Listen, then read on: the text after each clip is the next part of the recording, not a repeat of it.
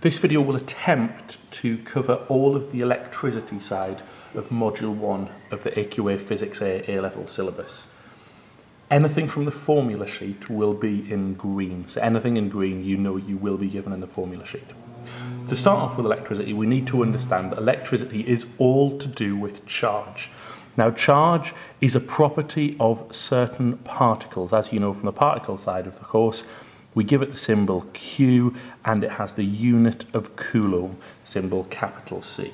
And charge is really important because all electricity is, is a movement of charge. And so we define our electric current, we give it the symbol I, it has units of ampere, symbol capital A, and we define current as the rate of flow of charge.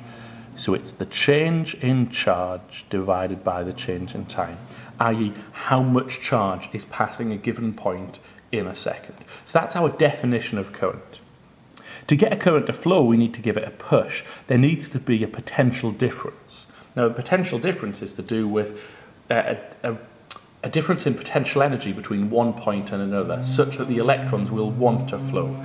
We can also call that voltage. It has a symbol V and is measured in volts.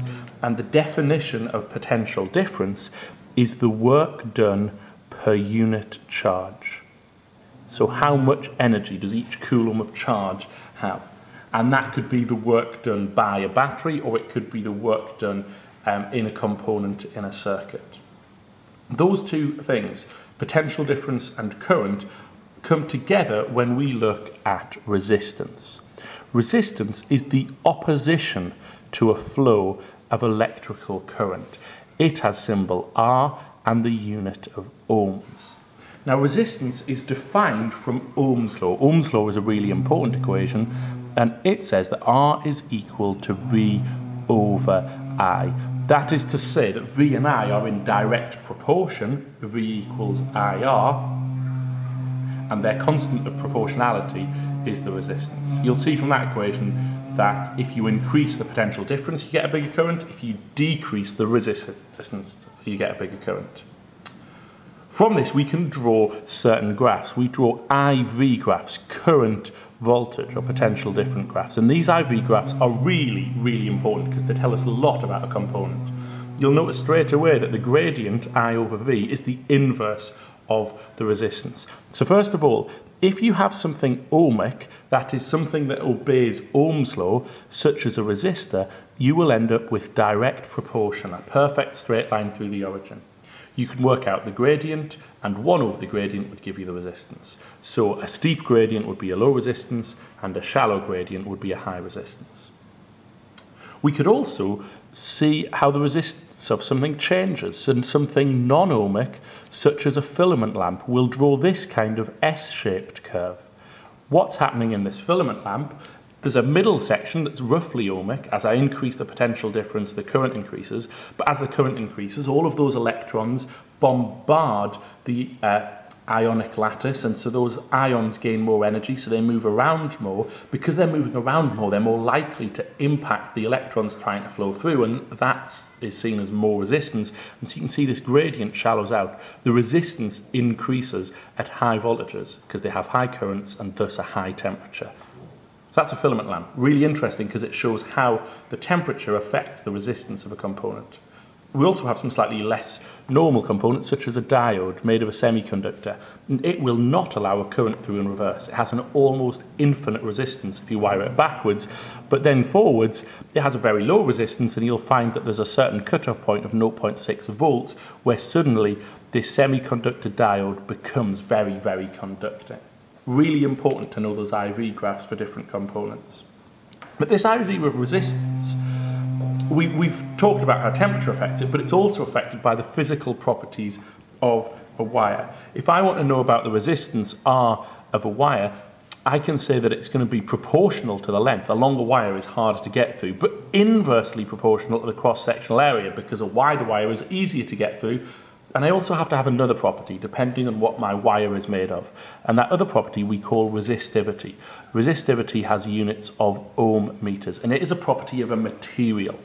Whilst length and cross-sectional area are properties of a specific wire, resistivity is a property of a material. And the formula that you get on the formula sheet is just a rearrangement of that, which is that rho, the resistivity, is equal to R A over L.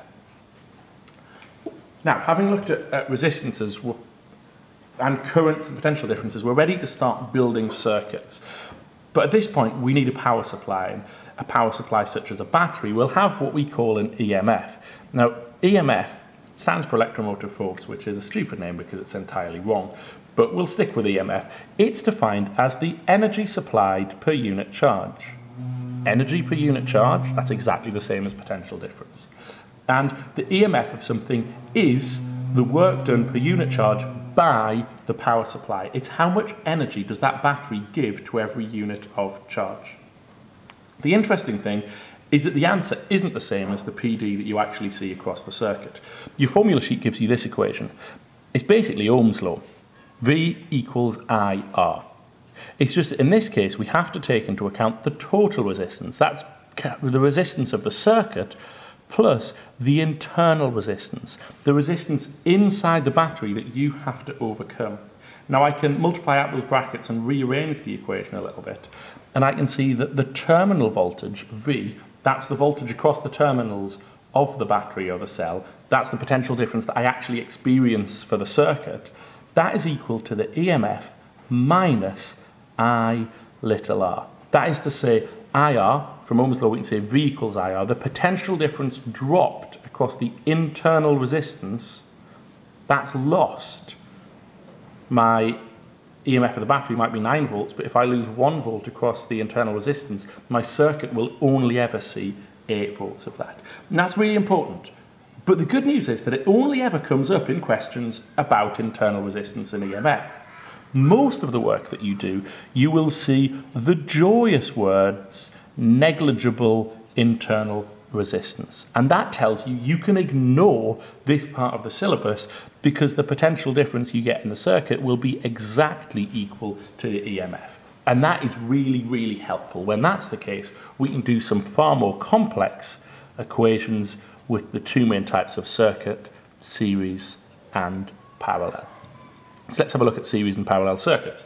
They have different rules. In a series circuit, the current is the same everywhere. There's nowhere for it to split. It just goes around one path. And that is really useful to know. The potential difference, however, is shared, and it is shared in the ratio of the resistances of components. So I have two resistors in series. One of them is twice as big. It gets two-thirds of the voltage. The one that's only half as big, it gets one-third of the voltage. So the potential difference shared in the ratio of their resistances. The total resistance in series is really simple. You just add the resistances together. I have a 5 ohm resistor and a 6 ohm resistor. In series, their total resistance is just 11 ohms. Nice and straightforward. Now in a parallel circuit, the rules reverse.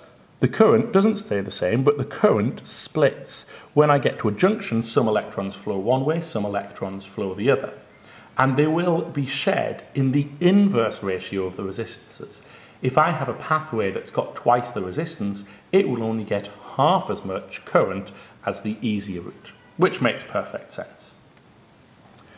The potential difference, however, is the same across each branch. And that's really useful, especially when it comes to some of the more complex calculations.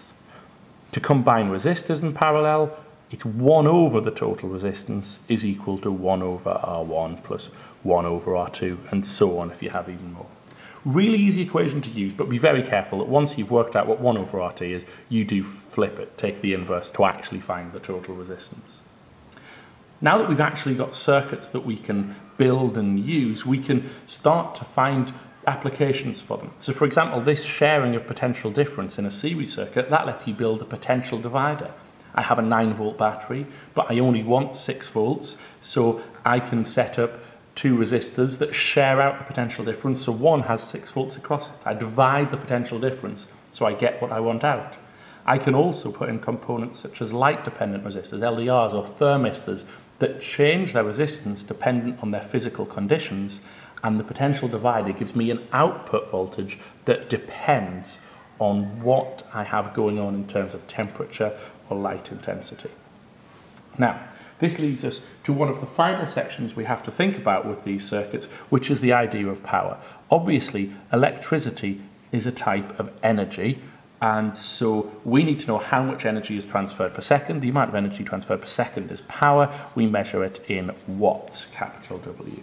And thankfully, for electrical power, there's one equation. That's that power is equal to voltage times current. But sometimes we don't know the voltage or the current, and so we can substitute in from Ohm's law, and we get I squared R and V squared over R. And all of those are equal to electrical power. This central one, P equals I squared R, is really, really useful. You'll use it an awful lot when you are calculating um, particularly the energy given out as heat per second. Be aware that power may well be described as energy transferred or energy dissipated per second, or the rate of energy dissipation. They all mean the same thing, power, how much energy per second. That's DC done, all of the direct current, which leads us onto AC. Now, before we talk about AC, you need to understand an oscilloscope. An oscilloscope is just a real-time graph. It has two axes, and it has a spot that travels on these axes and the bits that it touches glow. So first of all, the dot will move from side to side at whatever time you tell it to. So it has a time base. The x-axis is time.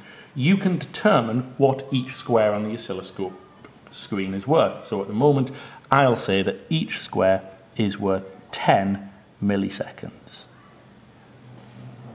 On the y-axis, uh, we have the voltage. So we'll sometimes talk about the voltage sensitivity or the Y sensitivity or the voltage gain, and that's basically saying the same thing as the time base, what's each square worth vertically. So let's imagine for a moment that each square is worth one volt. If I had a DC signal, it would just be a horizontal line as long as the time base was switched on, and the dot would just go across and across and across, and in that case that would be a DC of 2 volts. AC changes direction the current alternates forwards and backwards. And it does this in the shape of a sine curve. So I'd have a bit of practice drawing them if I were you.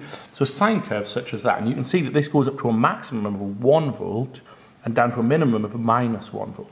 And that sinusoidal shape is what an AC 1 volt supply would look like. Now you do need to be able to measure a couple of things there. You need to be able to measure the peak to peak voltage, which is from there to there, and just the peak voltage, which is from the middle up to the highest point. Those are really important. The main reason they're important is that we can't compare AC and DC directly. We can't say I've got 1 volt DC and that's the same as 1 volt AC because they're not the same. In AC, the current is constantly changing. To compare, we need to use something called the RMS. So the RMS voltage, which stands for root mean squared, the RMS voltage is defined as a DC voltage that would give the same heating effect as an AC voltage. So if I take my AC voltage, V naught, that's a peak voltage, not peak to peak, just a peak voltage, and I divide it by root 2, that gives me the VRMS, the equivalent DC value. So I might have a certain value of AC voltage divided by root 2, and that will tell me that actually that's equivalent to a slightly lower DC value. And the good news is that that works exactly the same for current, and I just substitute in I naught, the peak current, divide that by root 2, and that gives me the I RMS value.